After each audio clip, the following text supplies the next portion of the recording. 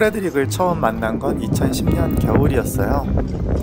당시 스마트폰도 없던 시절이라 지인의 소개를 받아 연락을 취했는데.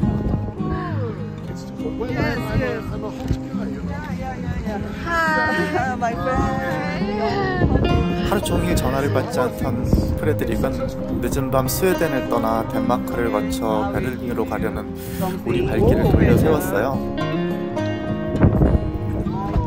그 인연을 시작으로 스웨덴에 올 때마다 프레드릭을 만났고 컬렉션에 많은 도움이 되었죠.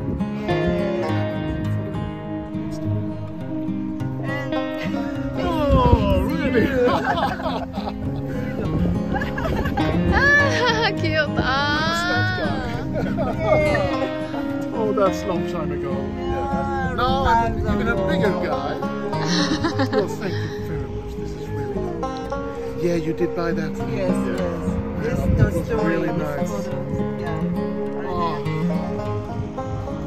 Oh. Cool. Thank you very much for joining me in Sweden. I'm really happy about this. 아. Oh, that's, oh, please. 프레드릭은 할아버지 때부터 내려오는 100년 된 숍을 가옥으로 이어가고 있었는데 65, 70, 75, and 80. 덴마크 앤틱부터 빈티지에 이르기까지 해박한 지식을 가지고 있어요.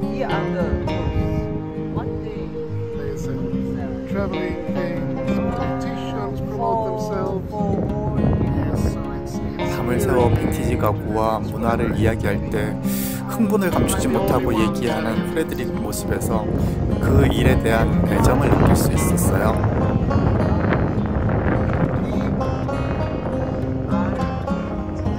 10년 넘게 인연을 이어오면서 벨기에, 독일 등 빈티지 페어에서 프레드릭을 만나기도 했는데요. 우리가 어려움에 처하면 늘 도움의 손길을 내밀곤 했죠.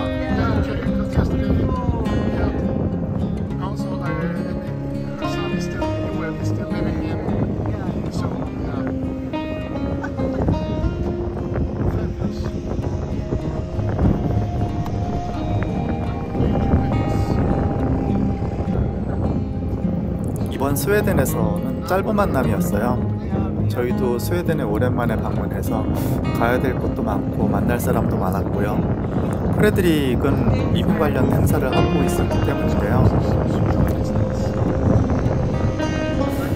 프레드릭이 먼저 제안을 했어요. 행사가 끝나고 우리가 지나가는 길목에서 기다릴 테니 뭐 지나는 길이라도 잠깐 보자고 해서 길에서 만날 수 있었네요.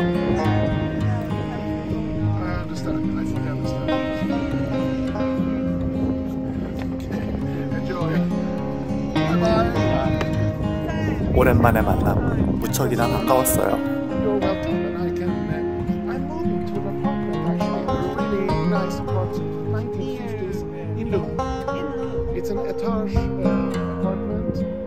90 square meters in one floor, with small stairways, and then a studio with high windows, 36 square meters.